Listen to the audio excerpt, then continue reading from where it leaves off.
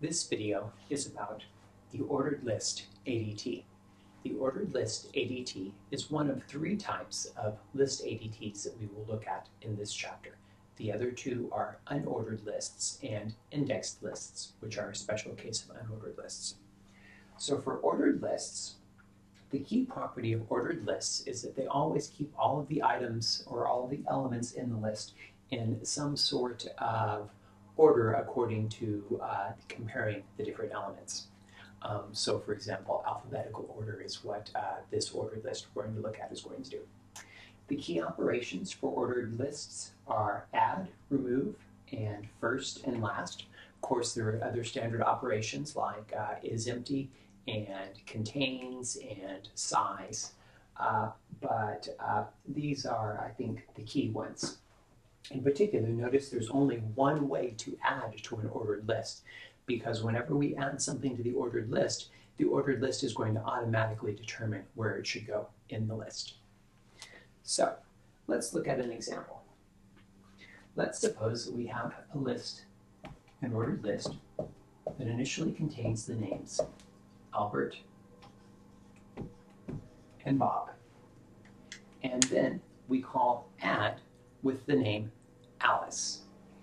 Well, Alice, of course, is going to go here between Albert and Bob.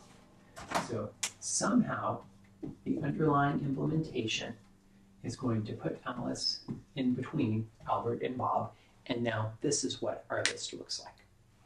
And then let's suppose that we call add with uh, the name Charlie. Well, Charlie should go at the very end here after the Bob. So this is where Charlie. And then lastly, let's suppose we add the name Abby. Well, Abby needs to go prior to Albert in alphabetical order. So Abby will go over here.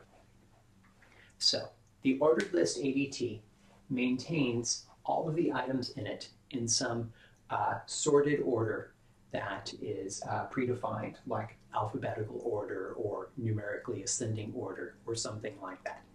Conceptually, that's what it does. How the implementation underneath actually maintains the list to do that is not relevant to the ordered list ADT itself. But of course, implementations might do something like shift elements in an array, or they might use a linked list. Uh, there are different options for implementation.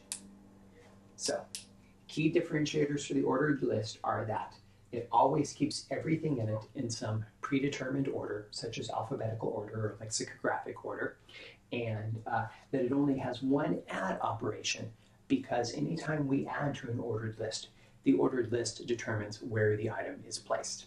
We don't determine it. It is a property of the element, how the element compares to other elements in the list that determine that determines where the item is placed.